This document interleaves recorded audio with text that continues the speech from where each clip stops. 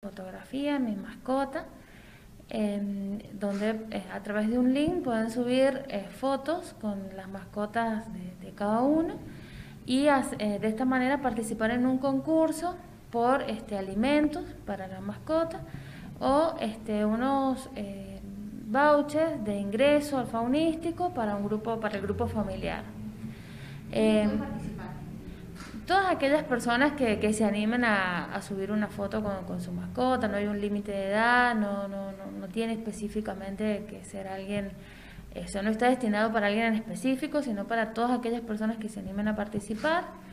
Eh, de esta manera también tenemos programada una suelta de aves en zonas, este, en distintas zonas de la provincia en realidad, porque se hacen en Pedernal, se hacen en distintos sectores destinados por medio ambiente.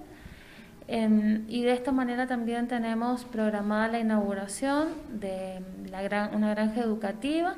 y una huerta eh, agroecológica que han desarrollado eh, los mismos empleados del parque faunístico, que en esta oportunidad eh, se va a inaugurar el día 29, la va a inaugurar el intendente a partir de las 9 de la mañana, 10 de la mañana. Todavía no estaría fijo el horario de, de inauguración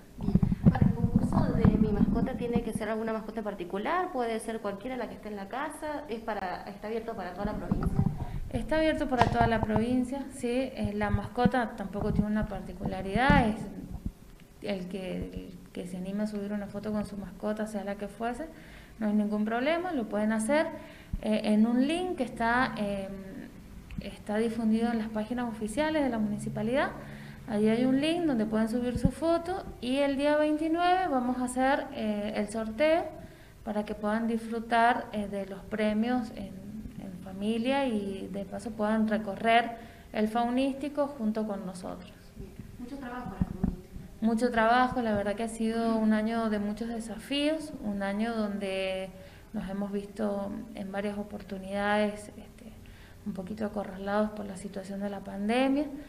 pero nos ha servido también para que los empleados este, puedan avanzar en